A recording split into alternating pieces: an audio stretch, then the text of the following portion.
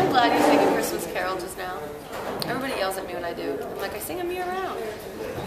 My dad's favorite, um, not, I mean, just sort of fun Christmas carol was the one about Smokey and the meatballs, and I'm gonna kill you, Johnny Matarazzo. I didn't even notice that either. um, who's the, um,